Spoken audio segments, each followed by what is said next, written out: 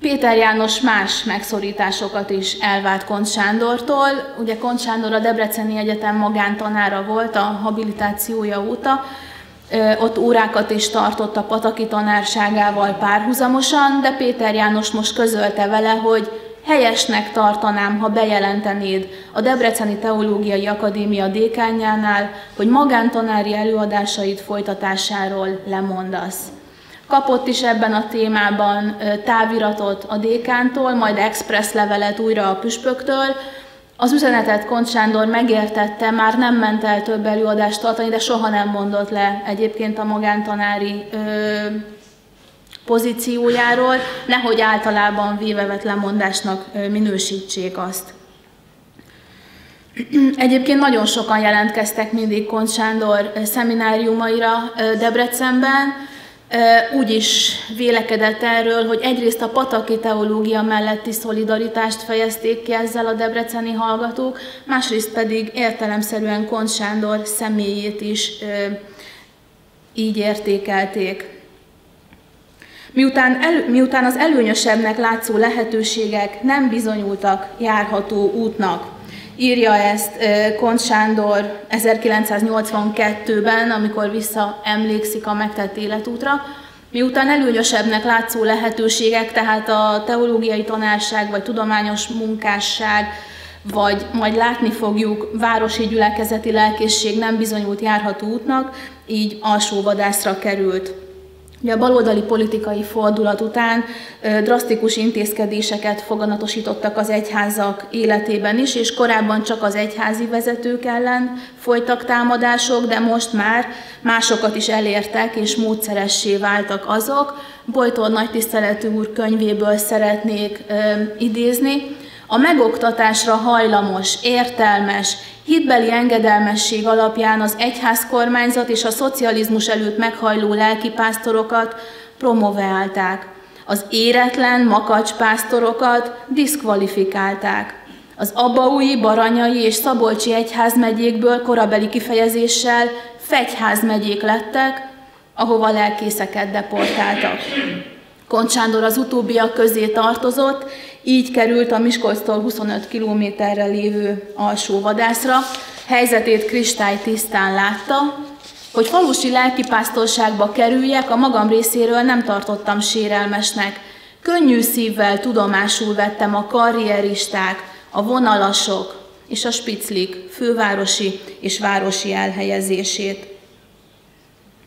Alsóvadász alkalmas volt úgymond a deportálásra, a földrajzi távolsága, az infrastruktúrális fejletlensége miatt, a vasútállomás legközelebb 6 kilométerre volt Szikszón, a felettesek azt várták ettől a helytől, hogy majd ö, megakadályozza Kont Sándort abban, hogy ö, közegyházi társadalmi kapcsolatait fenntartsa, illetve azt gondolták, hogy majd megakadályozza a gondolatok eszmék áramlását is.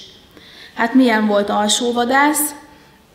Mm, én csak Kont Sándort idézem, most már sokat hallottunk, hogy milyen helyzet fogadta.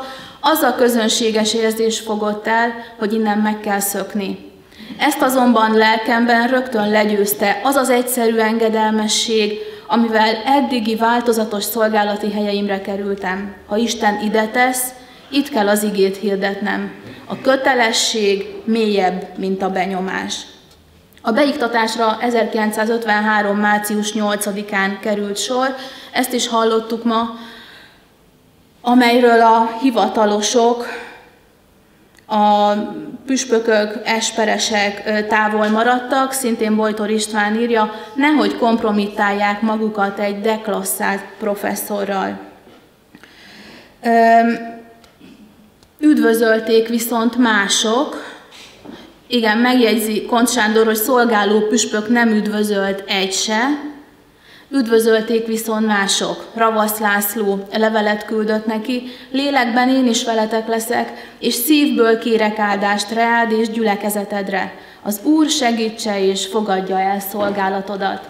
Ugyancsak köszöntötte őt táviratban Enyedi Andor, illetve az alsó vadászra már korábban deportált Zadravec István római katolikus tábori püspök is. Azt írja Kont Sándor, hogy mind levitéz lettek. Sokan felkerestek egykori pataki marosvásárhelyi tanítványaim, debreceni egyetemi magántanári előadásom hallgatói, munkatársaim, lelkipásztorok, öreg pataki diákok, Diós Györvasgyári, Ózdi, Csepeli munkásbarátaim, a háború előtti diákmissziói ismerőseim, katonacimboráim, tanártársaim, stb. közül. Gyermekeim egy évben 120 nálunk szállt vendéget írtak össze. Előfordult, hogy éjszakára 14 vendéget helyeztünk el a parókián. Tehát a szándék, hogy megakadályozzák Kont Sándor korábbi közegyházi kapcsolatait, vagy elvágják őt új gondolatoktól, vagy az ő gondolatait elzárják mások elől, ez nem sikerült, hiszen hallottuk, hogy milyen zarándok helyé vált alsóvadász ezekben az években. Radikális teológiai küzdelmek, ahogy fogalmazott Kont Sándor, tehát már az egyezmény körüli időkben kezdtek kibontakozni, de valójában majd a Rákosi érában erősödtek fel, illetve a mm, kollégium szekularizálása közti kérdésben. A teológia megszüntetése utáni másfél-két évben olyan légüres térbe került, ahol az egyház kormányzattal kapcsolatos véleményére nem volt alkalma, leírta viszont otthon magának. Nézzük, hogyan vélekedik Kont Sándor az egyház kormányzatról, valamikor 51 és 55 közötti jegyzeteiben olvashatjuk. Prokrusztész ágyba fektetett az egyház kormányzat. Prokrusztész hírhet attikai úton álló volt, az elfogott utasokat ágyba fektette, akinek hosszabb volt a lába, azokét könyörtelenül levágta, akié rövidebb volt, azokat halálra nyújtotta. Ezt akarja az egyház kormányzat az elvekkel. Rövidíteni és nyújtani a keresztény igazságokat, míg végül hulla lesz belőle. 1953. június óta volt új szakasz a magyar életben, de az egyházban nem volt új szakasz. Itt nem bukott meg a sztálinizmus. A békemozgalomban nem az a baj, hogy a keresztjének együtt vannak a kommunistákkal, hanem az a baj, hogy az úgynevezett békepapok az egyházban nincsenek együtt magukkal a másképp gondolkodó egyházi rétegekkel, mi alatt együtt vannak az egészen másképp gondolkodó ateistákkal. Személyesen Péter Jánosról is leírta meggyőződését 1952-ben.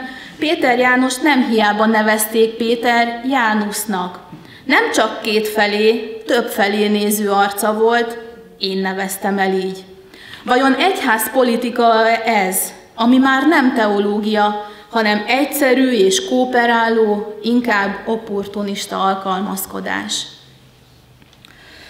1955-ben már előre látja a következő évi eseményeket, amikor ezt írja szintén az egyház kormányzókról. 1955-ben az egész élet megzendülőben van, az egyház ellaposodóban. Péter János és Berecki az ember még élhet soká, de mint egyház kormányzók, rövidesen el kell tűnniük az egyházi közéletből.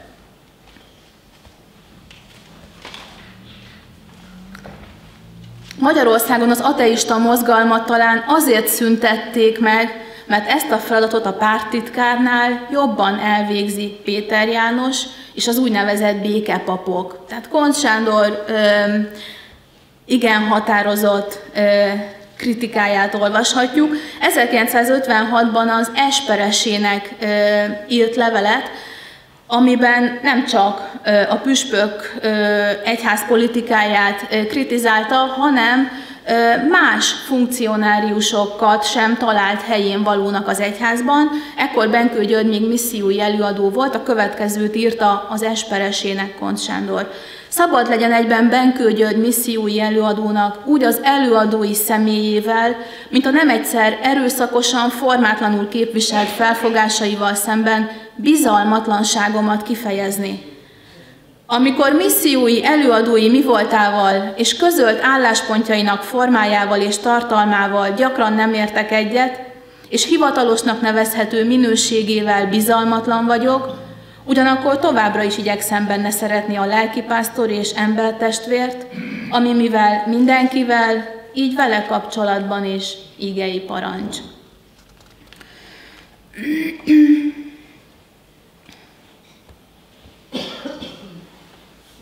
Hát itt most Kont Sándornak az közegyházzal kapcsolatos véleményeit olvashatjuk egy pár de olyan frappáns, ha szabad ezt a szót használni rá, vagy annyira találó megfogalmazások, hogy kár lenne saját szavaimmal fordítani. Úgyhogy nézzük megint, hogy hogyan vélekedik jegyzeteiben otthon, ebben az esetben a közegyházról.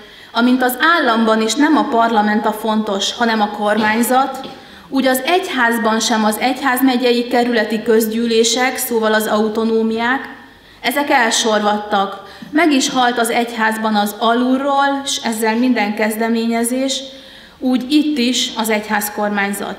És mint az államkormányzatban is a párta fontos, úgy az egyházban is a párt, és amint a pártban is a frakció, úgy itt is. Még csak nem is a konvent, hanem a frakció, a klik, és még abban is egy-két ember, pontosan, mint a politikában. És ahogy mindenben az államnál, a, és ahogy mindenben az államnál a politika a fontos, úgy az egyházban is egyetlen fontos az egyházpolitika. Ez pedig nem bel-egyházi politika, hanem külpolitika, egyházi békeszolgálat. Így csökevényesedett el a Magyar Református Egyház. 56-ban ez egy nyilvános felszólalásában hangzott el, Virág Sándor és Ráski Sándor előadásaihoz szólt hozzá Miskolcon egy 1956-os eseményen, következőt mondta. A második háború után úgy gondoltuk, hogy a hitvalló egyház felé haladunk. Egyesek úgy vélték, hogy a barmeni hitvallás a mi útunk, és a hitlerizmus alatt Niemöller körül szervezkedő német hitvalló egyház példa lehet. Az ilyen jellegű törekvéseknek véget vetett az egyezmény. Az egyezmény a hitvalló egyház útját elzárva népegyházi keretben igyekezett merevíteni az államtól elváló szabad egyház útját. Ami még mellé kell, ha már nem a hitvalló szó és jelleg, legyen a missziói szó és jelleg. Az egyezmény után úgy látszott tehát, hogy a missziói népegyház megvalósulás felé megyünk. Az egyezmény úgy funkcionált, hogy a missziói jellegű dolgok kezdtek lemorzsolódni. Ebbe beleértem a nevelés hagyományos és megmaradt műhelyeit is. Egyúttal a népegyházból lemaradt a nép. Nem volt lényeges, hogy az úgynevezett közpapság vagy a presbitériumok, gyülekezetek mit akarnak, egyáltalán akarnak-e valamit.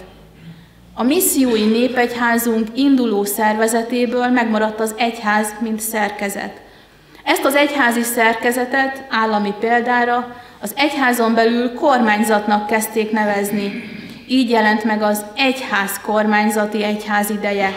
Legvégén az egyház is elmaradt, de megmaradt maga a kormányzat. Mindez épp úgy, mint az államban, az egyházban is magával hozta a megnövekedett bürokratizmust az élet rovására.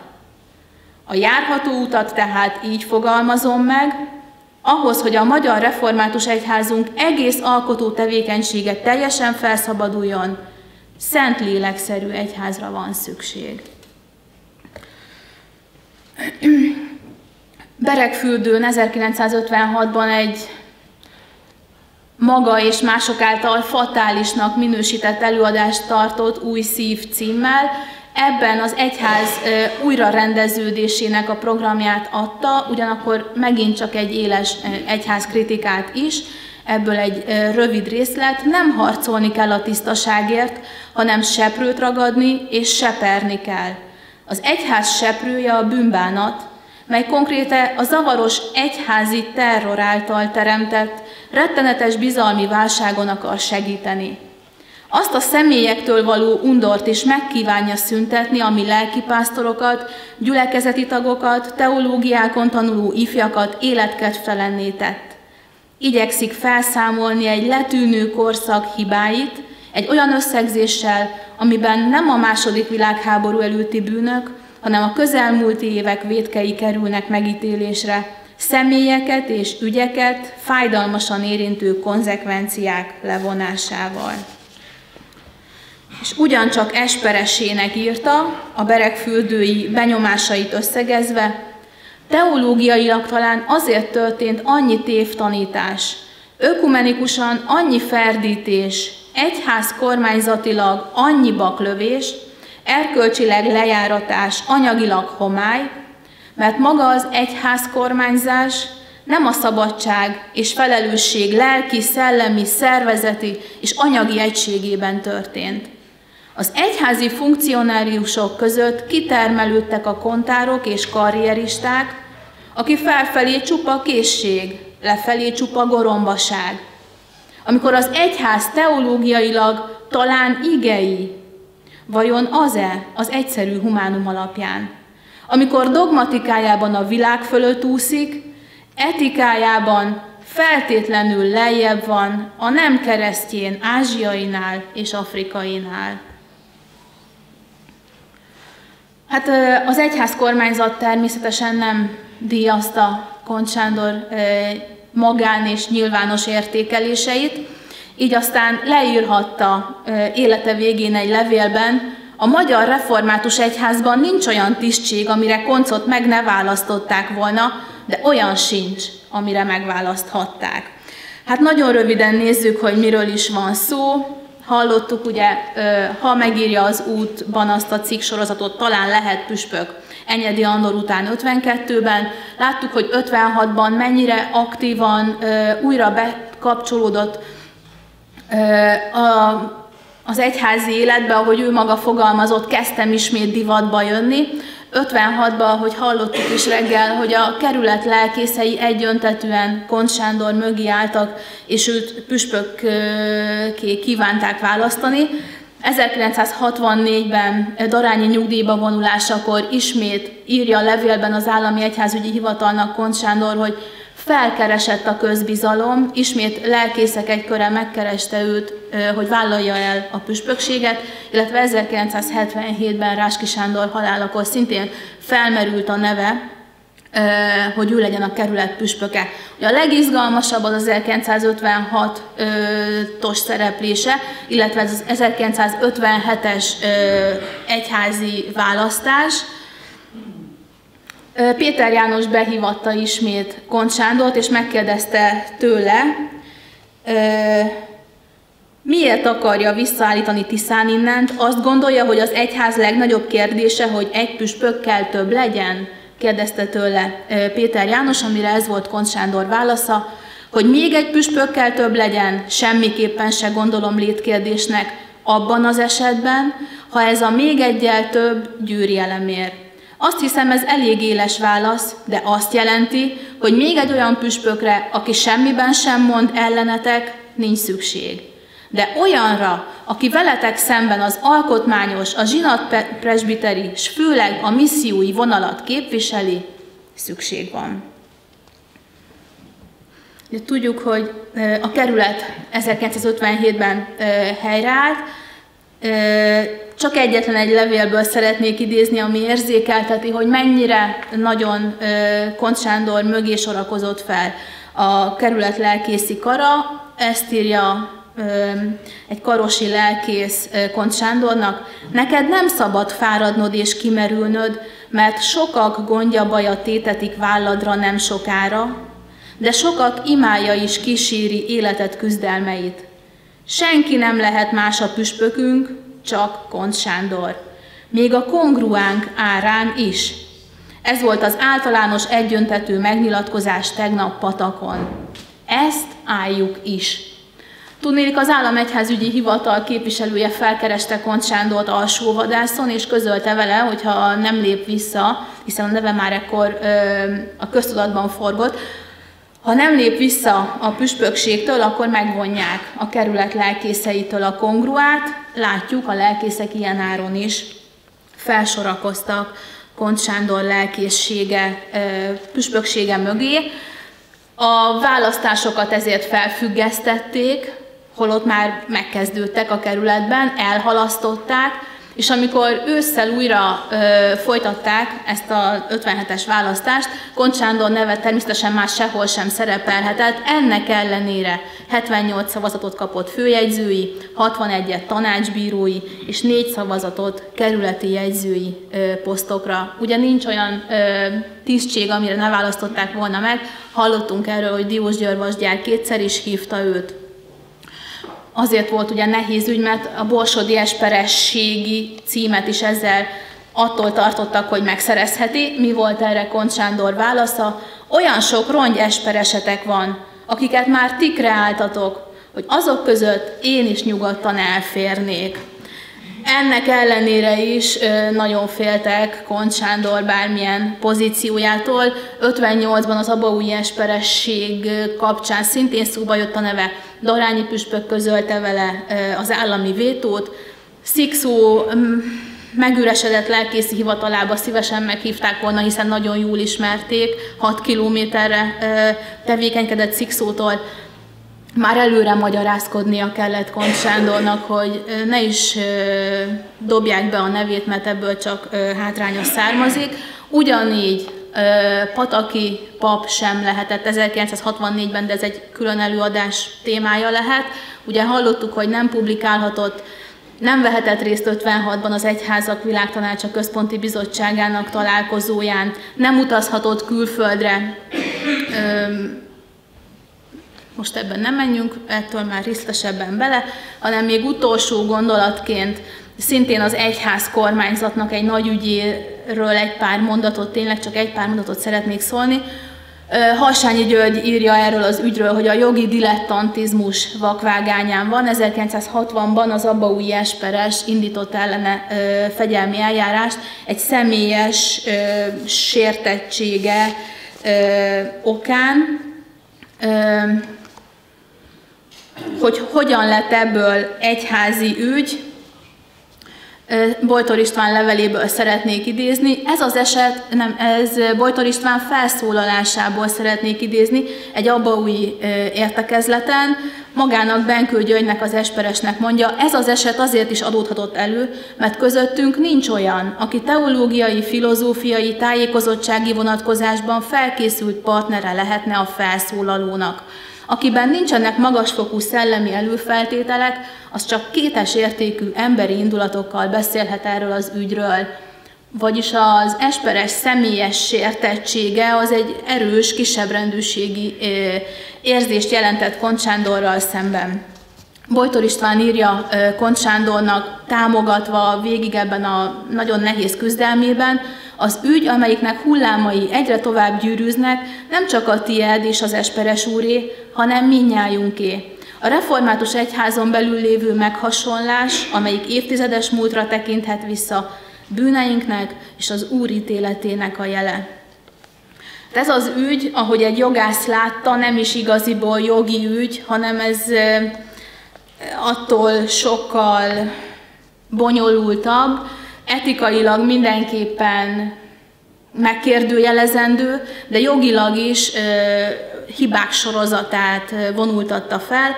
Azt írja Hassányi György, nem is okos dolog ezt az ügyet jogi keretek között folytatni és intézni, mert az elsősorban nem jogi, hanem etikai, politikai, egyházkormányzati missziói, és nem utolsó sorban evangéliumi ügy. Ebben a komplexumban a, politikai, a politika és teológia, a hatalmi féltékenység és irítség, vagy ha úgy tetszik, a kisebb rendőrségi érzés, a sértett hiúság, a plegyka szálai szétbonthatatlanul össze vannak szövődve, vagy inkább bonyolódva. Ugye hallottuk, hogy sorra adták vissza az ügyészek ezeket a dokumentumokat az egyházkormányzatnak egy ügyész sem tudta vállalni. Kormány Károly új ügyész, Berei Miklós helyi ügyvéd sem volt hajlandó a vádat képviselni Kont Sándorral szemben. Végül a Hevesi Egyház megye ügyészét is megkeresték Géresi Jánost, aki szintén azt indítványozta, hogy a fegyelmi eljárás mellőzésével békés úton rendezzék végre ezt a kérdést. Példátlan módon az egyház kormányzat nem fogadta el a harmadik, most már egyben utolsó ügyész véleményét, Dabóci István azt írja, ügyész úrnak azt a véleményezését, mely szerint a fegyelmi eljárás megszüntetendő, az elnökség nem fogadhatja el. Ezért az összes vonatkozó irattal úgy küldjük vissza újból önnek az ügyet, hogy azt szíveskedjék még egyszer áttanulmányozni, és a vádiratot elkészíteni. Dabóci István egyben a hevesi esperest is megszólítja, hogy hasson már Géresi Jánosra. Azt írja neki, ez nem az én ügyem, vagy valakinek az ügye, hanem az egyház kormányzat ügye.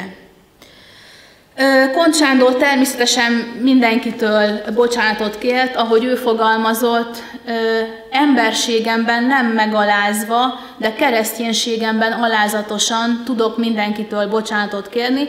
Ennek ellenére egyszerűen nem bírt ez az ügy a végére érni. 60-tól most már 62-ben járunk, végre 1962-ben döntöttek a fegyelmi eljárás megszüntetéséről, azonban az Esperes az egyház megyei kormányzat végzését rögtön meg is küldte Kont Sándornak, mi szerint a szereplései károsan érintik egyházunk szolgálati egységét, belső rendjét, nyugalmát, és ezért egyházi közérdekből az áthelyezési eljárás lefolytatása látszik indokoltnak. Tehát az Esperes nem tudta elfogadni a kerületi fegyelmi bíróság végzését az eljárás megszüntetéséről. Hát Kont Sándor természetesen nagyon megviselték most már ezek a megpróbáltatások fizikálisan is, pszichológiailag is, ahogy írja magáról, megroppant, de még ebben az időben is Niemöllernek a etikáját tudta otthon megfogalmazni. Azt írja, nem értek egyet a vétkessel, mégis szolidáris vagyok vele a vétkesség miatt ránehezedő terhek vállalásában. Nem értek egyet a törvénytelenséggel, de szolidáris vagyok az egyház kormányzattal a törvénytelenség miatt rájuk nehezedő terhek vállalásában. A lezárás 64-ben történt, akkor ö, fejezték be ezt az egyházmegyei ö, kanoszajárást is, a lezárás azonban már lelki felszabadulást nem hozhatott, Kont Sándor megtöltem betegen, elkeseredetten jegyezte füzetébe, az emberügy teológiai és állami korszakában irgalmatlanság és kegyetlenség. Velem szemben embertelenséget követtek el, amit nem igazoltak. És végső soron az üzenete így összesűríthető, Koncsádónak ebben az elkeseredett nyilatkozatában az egyházban nagyobb a személyeskedés, több a gyűlölet, kevesebb a megbocsátás, lehetetlenebb a kritika és szembeötlőbbek az emberi bűnök, az alakoskodás. Hallottunk ma már erről, szocializmusban élő egyház vagyunk, de nem vagyunk élő egyház a szocializmusban. Egy szocializmust építő országban egyházunk a legantiszociálisabb intézmény, közbocsánatot gyakorló ateista államban, az Istenes egyházban baloldali túlkapások és módszerek érvényesülnek. Végül kifáradtam idegzetileg a sok harcban, kifáradtam, igen sok harcom volt. És aztán a sűjesztőnek szánt ö, levéltárba került 1965-ben, és erről már nagyon sokat hallottunk. Köszönöm szépen a figyelmet.